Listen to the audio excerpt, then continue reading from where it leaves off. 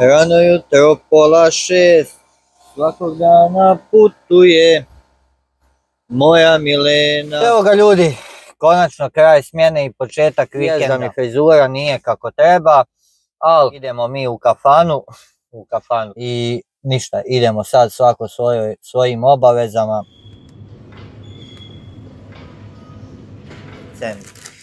I ono što ćemo praviti sutra su Evo možete vidjeti tortilje. Dobro jutro ljudi, dobro došli u naš novi video.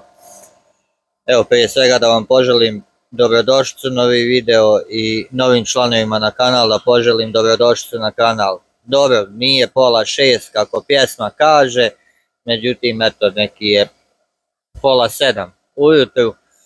Petak je prva smjena kraj radne sedmice, tako da sam dobro, dobro, jako dobro raspoložen. evo ovako čisto malo da vam se javim s posla. juče je bio praznik, tako da naše firme faktički pola nema. Ljudi su uzeli produžen vikend, znači četvrtak je bio praznik u Sloveniji tu, znači 8. februar, Prešernov dan. Za nekoga ko ne zna, znači Franc Prešern je napisao slovensku himnu i 8. februar, to je bar ovako neki podatak koji ja znam, znači ako neko želi da se nadopuni na ovo i zna više o ovome, nek slobodno napiše. 8. februar je taj Prešernov dan, Franc Prešern je napisao slovensku himnu i inače koliko ja znam o tome, znači 8. februar dan kad je umro Franc Prešern, sad ne znam tačno koje godine, ja mislim 1942. ali evo nisam siguran. U svakom slučaju 8. februara u Sloveniji je praznik na taj dan, znači državni praznik i kulturni praznik. I na taj dan se dodjeljuju te neke nagrade za, eh, na području umjetnosti, znači za umjetnost uh, Prešernove i zovu se Prešernove nagrade. Bar eto, to nešto što ja znam ovako iz glave a kažem, ima ljudi tu dosta koji nas podržavaju, a znaju više o slovenskoj kulturi, tako da ispravte me ako griješim u nečemu. Ništa, ja radim prvu smjenu danas, pa evo polako radim, jutro je, znači do dva sata radim, pa onda kad završim smjenu vidit ćemo se i pa ćemo nastaviti ovaj video i nastaviti ovaj vlog. Pa eto, ako vas zanima, ostanite u nastavku videa, stavite jedan like na ovaj video, zapratite kanal ako još niste, e, vraćamo se redovnom snimanju, snimanju svaki dan, juče ste mogli vidjeti e, neki novi projekat koji radimo na kanalu, tako da pogledajte neke i malo starije videe, vi koji ste prvi put na kanalu, tako da znate o čemu se radi i šta ja radim ovdje na YouTube i na generalno na društvenim mrežama šta ja to predstavljam. Tako da eto, vidimo se danas kad završim smjenu ili možda u toku dana vidjet ćemo e, kako budem s poslom. Tako da vidimo se u nastavku videa. Stavi jedan like, zaprat kanal ako još nisi. E, samim tim daješ meni motiv, daješ meni podršku, a to tebe ništa ne košta, a meni to puno, puno znači. Tako da vidimo se malo kasnije. Evo ga ljudi, konačno kraj smjene i početak vikenda. Gotov sam s poslom, krećem polako kući. Mikrofon je upaljen. Počeo sam bio snimati, ugasio se mikrofon. E, pa, pa sam morao onda ponovo, ali nema veze. Uglavnom vikend počinje polako. Jest da je neka malo gužva u saobraćaju, ali nije kao i obično gužva. Uh, samo da ovaj se ne ubaci. Nije kao i obično gužva jer kao što sam rekao na početku videa, znači danas je petak, jučer je bio praznik, četvrtak i dosta ljudi je na primjer spojilo i ima produženi vikend. Tako da ono što se tiče, što se tiče gužve nije neka nije nešto strašno. Uglavnom, uh, mi petkom, pogotovo kad smo prva smjena, uh, imamo taj neki običaj pa volimo otići petkom, ono poslije posla skup se nas nekih desetak, odemo u jednu u jedan kafić, popijemo piće, tako, čisto je to onako taj neki ritual za kraj sedmice. Jest da mi frizura nije kako treba, ali kad je bal, neke maskembal. Idemo mi u kafanu, u kafanu, idemo da, mislim, bukvalno idemo u kafanu, to je kafana gdje se malo, gdje možemo se opust, e, gdje možemo se opuštenije ponašati. Tako da idemo u kafanu pa kad završim sa kafanom onda nastavljam sa snimanjem videa. Tako da vidimo se u nastavku videa. Ja vjerujem da dosta ljudi ima ovakve neke rituale. E, kažem, ne idemo u kafanu svaki dan, ne odamo po kafićima svaki dan, već ovako, eto, čisto jednom sedmično uh, ili jednom u dvije sedmice, zavisi kako kad, uh, odemo, eto, recimo čisto onako da se malo, da se malo podružimo van posla što se kaže.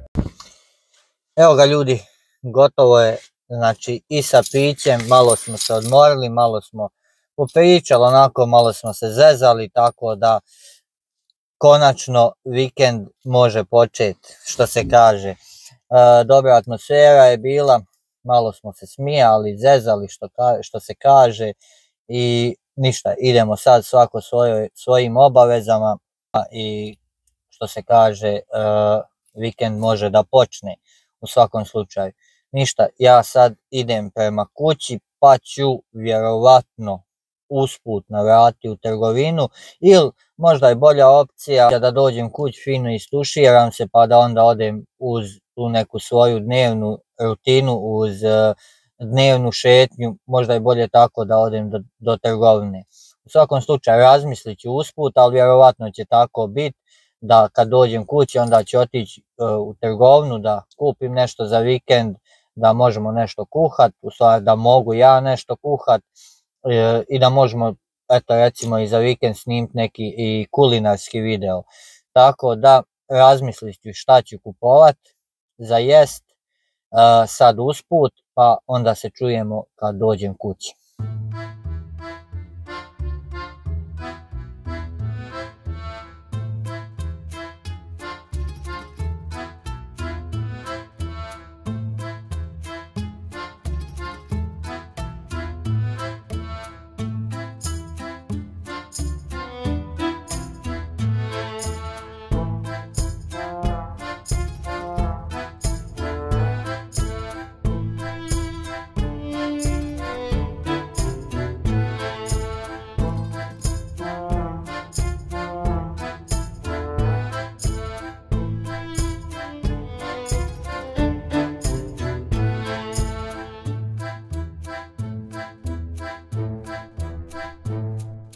Ipak ljudi usput sam stao u trgovinu, e, ne znam koliko se vidlo na kameri, ali znači vjetar pije i strašno. E, bilo je čak i malo i nezgodno i za voziti, ali u svakom slučaju, evo, stigao sam tu, ajde ovo je u blizini moje kuće, planirao sam, kažem, otići pješke, prošetat, ali bojim se kad dođem kući da, da će početi već kiša padat, i da neće onda uspjet e, doći pješke do trgovine. U svakom slučaju stao sam usput, odo, e, znam otprilike šta imam od namjernica za sutrašnji neki recept i odo još nešto dokupiti. Ono faktički ono što mi fali, pa tako da e, probat ću nešto malo uhvati kradom u trgovini da snimim, ako uspijem, ako ne uspijem, onda se vidimo kad dođem kući.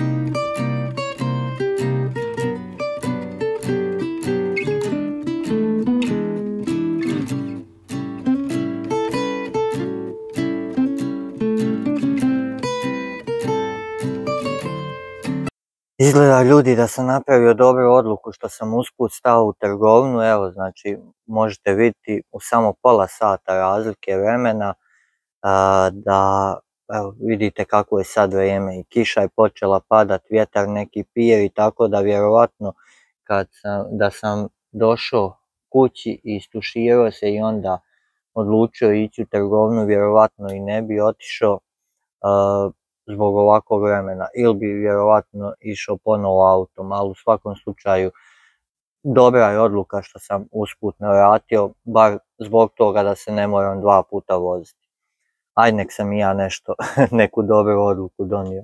Ništa, u svakom slučaju idemo sad pogledati šta sam ja to kupio pa ćemo onda polako odjavljivati video. Boga mi sramota me što, što mi je porasla kosa ovako i, i što što sam, mislim, što hodam ovako, što se kaže, čupav, porasla mi je kosa, a jutros normalno, kako sam ustao, nisam se tuširao da to fino padne, ali odo sam da u svakom slučaju, tako je kako je ljudi, izvinjavam se, nadam se da će sutra, da će sutra doći frizer, da će me ošišat, tako da, da ono, da nemam problema oko toga. Inače, kosa mi raste ovako nekako na sve strane, pogotovo ujutru kad ustanem, to je katastrofa. E, nadam se da neko nema takav problem, ja ga imam, ali šta ćemo, tako je kako je.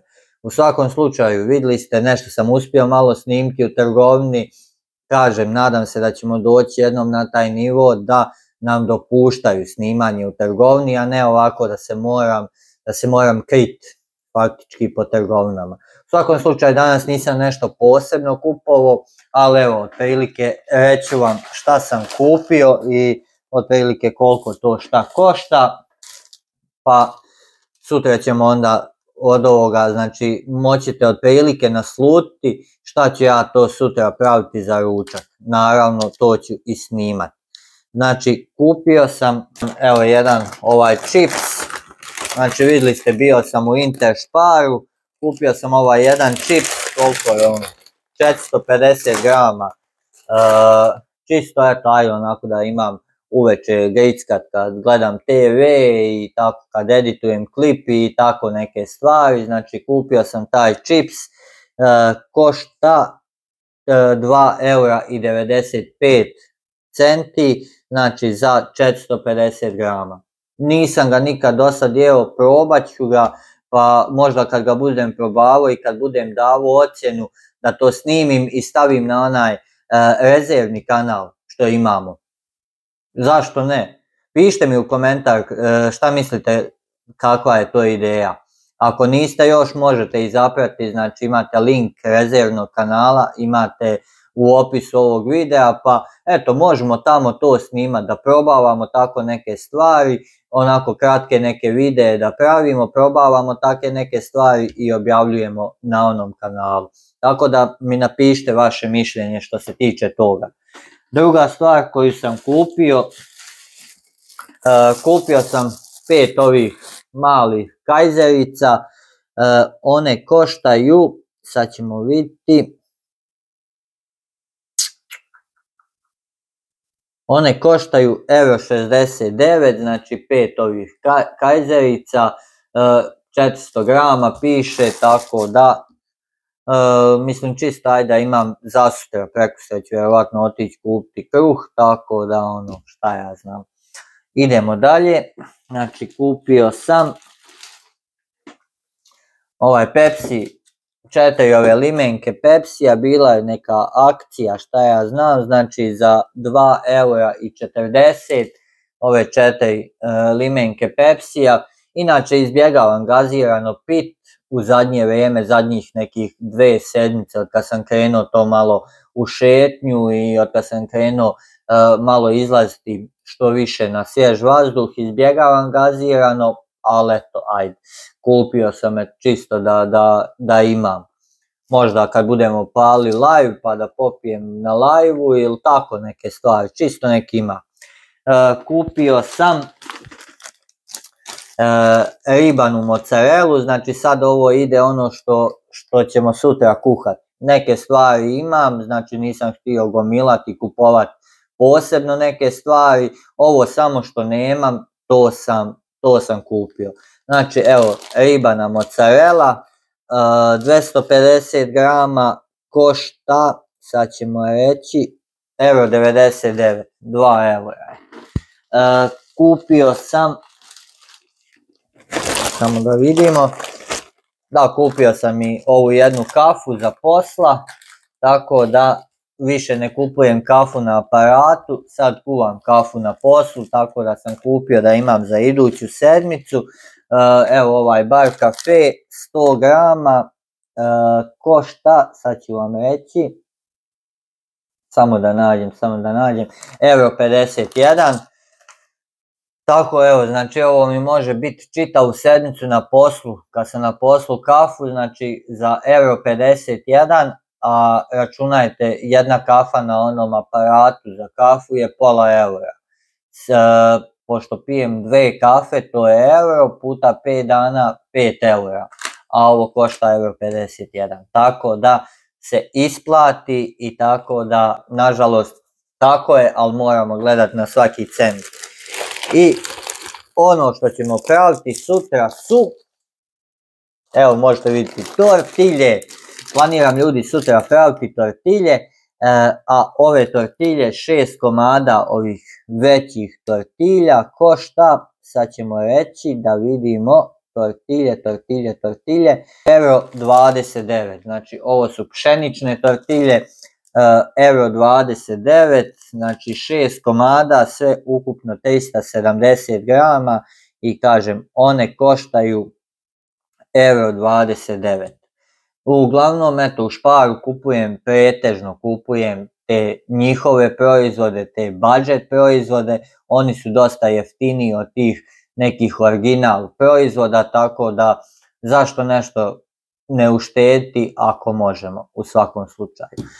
Uh, I to je to, ništa više nisam kupio, znači uh, potrošio sam sve ukupno 12 eura, nešto malo manje 11 eura i 80 centi, tako da, eto, ajde recimo koliko toliko zadovoljan sam sa ovom kupovinom. Uh, ništa ljudi, to bi bilo to od ovog videa, hvala vam na gledanju, otprilike, eto, to je neki moj dan, neki moj kraj sedmice, Uh, htio sam vam i to snimiti, čisto nadam se da vam se sviđa.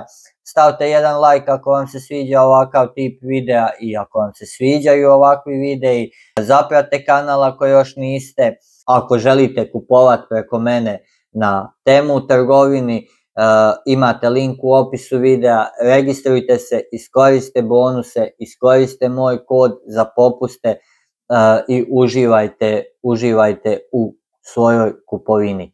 I eto, ne bi dužio više ovaj video, hvala vam na gledanju, hvala vam na podršci, zaprate kanal ako još niste, e, vas to ništa ne košta, a meni to puno znači. Pa se vidimo i čujemo sutra u novom videu. A do sutra, lijep pozdrav svima, ćao!